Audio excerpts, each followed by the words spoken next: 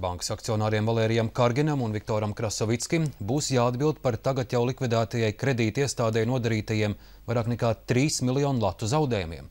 Tas gan ir 20 reižu mazāk nekā gribēja piedzīt valsts kapitāla interešu pārstāvi. Stāstā Andris Lācers. Rīgas apgabaltieši šodien pasludināja spriedumu prāvā par 62 miljonu latu piedziņu. To vēlējās saņemt tagad likvidētās Pāreks bankas tā dēvēto slikto aktīvu pārvaldnieces kompānija Reverta. Bijušos Pāreks akcionārus Valēriju Karginu un Viktoru Krasovicki apsūdzēja par savulaik bankai neizdevīgu noguldījumu un kredītu līgumu saslēgšanu, kā rezultātā bankas īpašnieki nelikumīgi iedzīvojušies. Tiesa prasība apmierināja daļēji. Piedzīve solidāri no Valērija Kārtina un Viktora Krasavicka par labu akciju sabiedrībai Reverta. Zaudējums 3 317 333 latus. Tiesas izdevums 20 490 latus 84 centīmus un ar lietas vešanas saistītos izdevumus 111 146 latus 45 centīmus kopā 3 448 970 latus 29 centīmus.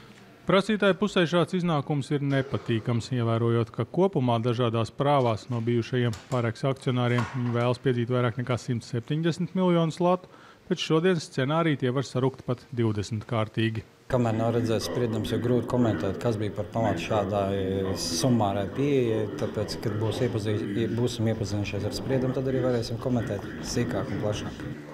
Gandarījumu, ka 60 miljoni pārvērtušies tikai par trim pauda Kargina un Krasovicka aizstāvis, taču arī viņš apsver iespēju spriedumu pārsūdzēt. Lielākoties pozitīvs, taču ne līdz galam, jo Kargins un Krasovickis uzskata un apgalvo gan visu izskatīšanas laiku, gan arī šobrīd, ka viņi nekad apzināti nekādas zaudējumus bankai nav nodarījuši. Nu, tiesa uzskatīja, ka tomēr par 3 miljoniem 317 tūkstošiem Viņi ir vainojami. Ja?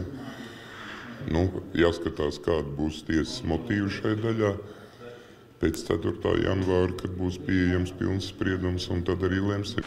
Kopš valsts pārņēma Pāreiks banku pagājuši jau četri gadi. Nākamgad tiesnešiem jāpaziņo lēmums lielākā apmēra prasībā pret Karginu un Krasovicki, kur zaudējumu summu pārsniedz 90 miljonus latu. Tāpat jāizšķiras, vai valsts kapitāla pārstāvju prasības visu laiku netiks apturētas, kamēr tiks iztiesāta bijušo akcionāru prasība pret valsti, kurā viņi apstrīd savulaik veikto bankas nacionalizāciju. Atgādināsim, valsts kasē tā izmaksāja vairāk nekā miljardu latu. Andris Lāters, Dainis Lācis, Latvijas televīzija.